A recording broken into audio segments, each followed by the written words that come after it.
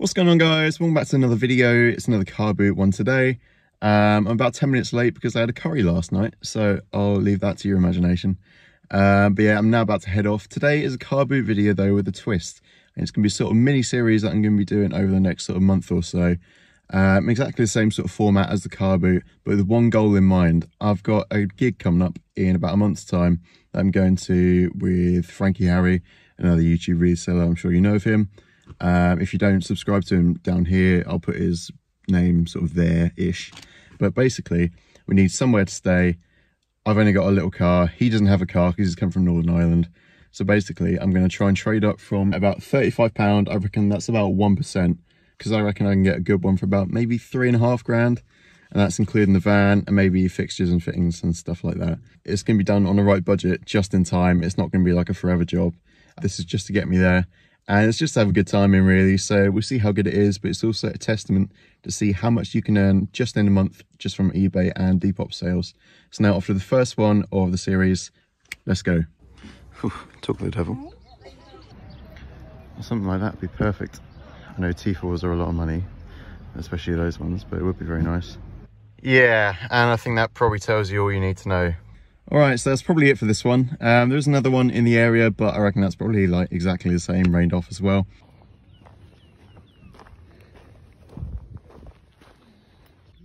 All right, so did make it to the next one. And there are a couple of bits here. This is super faded and it's got a mark on it, but I just needed something to cover fuel. That'd probably be like a tenner. But this bag is super sick, this little Pullman one. Really like that. That'd be great for festivals. That was £1.50.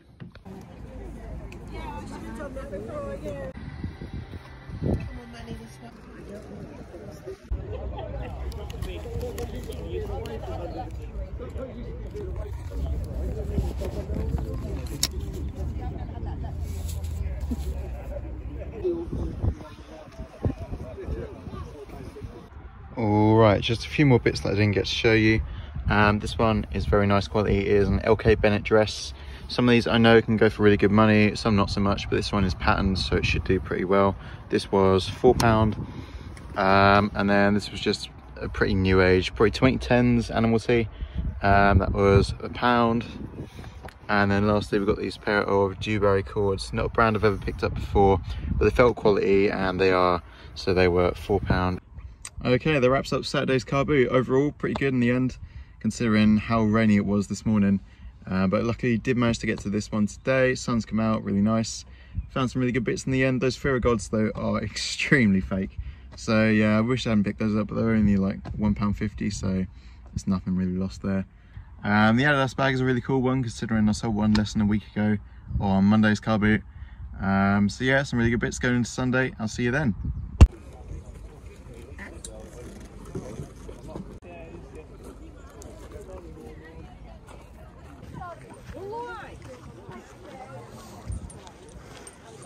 Right, really busy. I didn't get a chance to show you everything again, but I am hoping to invest in a GoPro so I can show you everything a lot easier.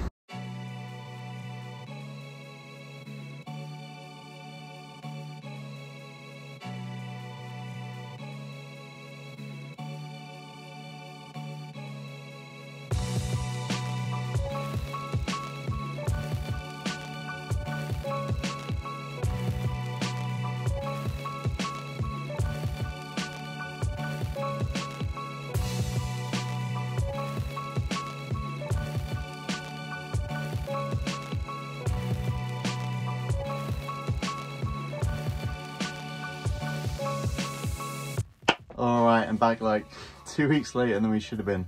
Uh, but it's been a lot going on in personal life i'm sure you can understand. So getting back into the youtube now. Everything's already on the chair i'm not going to throw it. All right maybe one thing. Okay kicking it off with this. Is a 1970s or 80s maybe.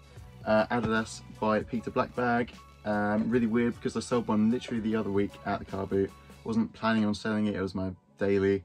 Um, but yeah sell for a good price and I got this one as a replacement. So this one was £10, lovely front and back design, um, really good condition, not much wear to it at all.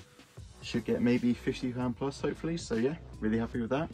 Okay, staying in the 80s, starting off with this, it is a lovely 1980s Top Man jumper on that lovely tag that you don't see enough of anymore. Um, but the colours on this are really awesome. That'll be stashed away until autumn for a little post.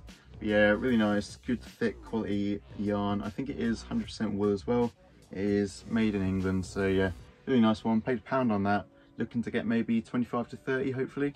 Something a little bit more modern now is this big old Tommy Jeans embroidered spell out sweatshirt. Quite a nice one at that. Um, a few years ago, this would have gone for a load more because Tommy and Ralph was doing really well on Depop at the time but still pretty nice nonetheless. This one's got a little embroidered flag just down there on the other side on the sleeve. So yeah, and he paid three quid for it. Should get maybe 25 to 30 on that, I'd be pretty happy. Okay, this next item was just simply to cover my fuel on the day that it was raining loads. Um, but it is this just simple plain black Nike hoodie, full zip, with a little embroidered swoosh just there. Um, yeah, pretty basic, few marks. Paid a pound, I think it was. Should get maybe 10 pound tops. Okay, next up we've got this really nicely faded 90s sweatshirt with a really creepy as hell guy just on the front there, peering through his legs like he's looking at kids, really dodgy. Um, but yeah, this is an Ohio State University one on a very nice old 90s merino tag.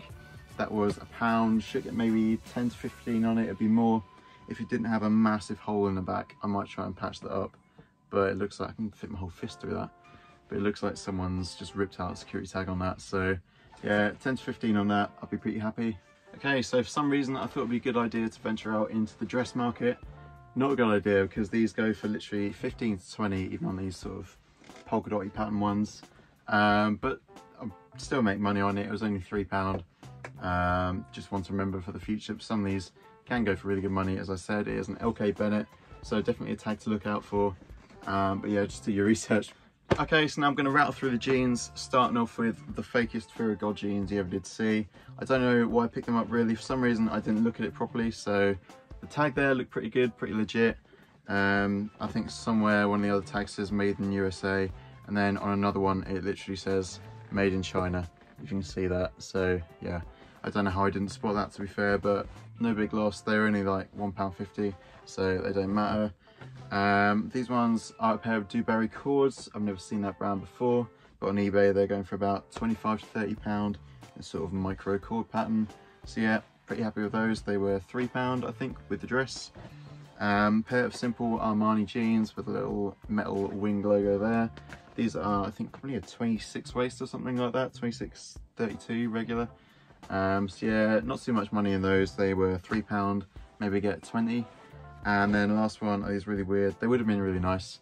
Levi's cords, but they are cut offs like three quarters. So I'm probably gonna hem them around here. And if they fit me, if I lose a bit of weight, I might just wear those for summer. Okay, moving on to t-shirts, starting off with this it is a, I think it's literally last year, Guess t-shirt. It was two pound, ignore the tag there. I brought it with me to the pop-up, but this one didn't sell. Uh, but yeah, just two pounds, should get maybe 15 to 18 on that in summer full embroidered spell out, quite a nice one, along with this one from the same person. It is an early 2000s Armani jeans tee. Couple marks on that up there. Might give it a bit of soak, see if they come out. Um, quite nice all over sort of print on the front. Okay, got these next two items for a quid from the same person. It is this really nice, big old England training top. To be perfect for the World Cup that's coming up later this year, I think November, December, something like that. Um, so yeah, Christmas World Cup. But yeah, this was a quid. Um, nice little embroidered logo there. So should get maybe 20 to 25 on that. And then this one is absolutely ruined. I might just throw it away to be honest. Or someone just have it for postage if you want it. It's yours. It's a size small Assassin's Creed 3. I think it's 2012 or something when this came out. Um, but it looks like it's just been chewed by a mouse to be honest. So it's on quite nice Fruit of the Loom heavy cotton tag. But it's just a shame because it's pretty ruined and covered in marks. So yeah, might just throw that one away. Okay, a couple of summer staples now. Just this, quite nice animal tee. Um, big front graphic and one on the back as well. Probably about 10 years old. That was a quid, should get maybe 10 pound on that. Um, and then onto this is quite nice Ralph Lauren uh, polo. Big, big color blocking on that as well. Embroidered horse. Should get maybe 20 on that. That was two pound. And then lastly, a little white one as well pretty much the same um, with the three on the arm, rugby style. This was £2 again. Okay, my favourite pickup of the entire video is this pretty techie sort of rave jacket from Nike. Proper early 2000s with a sort of uh, Nike Hex sort of early TN styling. but it's not, it's just plain basic Nike. Quite a nice sort of spell out on the arm there as well. Um, this one was just two pound, was it three, something like that. Um, just on the old grey tag there. Um, but yeah, really nice sort of details inside the hood and stuff like that. Plain on the back with the colour blocking, that was three pound, should get maybe 25, 30 on that. This was another really cool one, nice early 2000s diesel puffer. It's women's um, with a really nice sort of arm patch there, sort of metallic and leather and stuff like that. Um, but yeah, no rips or holes or anything in it. Very, very light staining on the cuffs. So I'm just gonna give that a bit of a wash or dry clean or something like that and see if that comes out. But yeah, quite nice, got a concealable hood as well. That was three pound, should get maybe 50. And the final pickup for the video is just a simple Barbour jacket. They always have a really good sell-through rate on eBay. This one is an extra small grass track jacket, I think. So it's a plain quilter jacket with a bit of a fleecy lining, which is a little bit more sought after. So again, more of a winter item. I'll stash it away. That was just three quid. Should get maybe 35 to 40. But yeah, that should earn some good money towards the camper, hopefully. Um, I have already earned a little bit of money towards it from two items that you remember not seeing in there. That little colourful Pullman bag that went for £20 at the pop-up, as well as the new pair of Dickies, they were £25. Sew that's £45 already, which is, I think, the cost of everything here. I did go £10 over the £35 limit, so I spent £45 in the end, but still roughly about 1% of a decent van, because they do go for about 4500 three and a half, anywhere sort of between that range. But yeah, thank you guys as always for watching. If there is anything that you like, just drop me a message on Instagram. So double underscore vintage. Um, if you guys could like, subscribe as always, that'd be greatly appreciated and I'll see you guys in the next video, hopefully out on Thursday. So that'll be the weekend just gone in car boot. So yeah, see you guys in that one. Peace.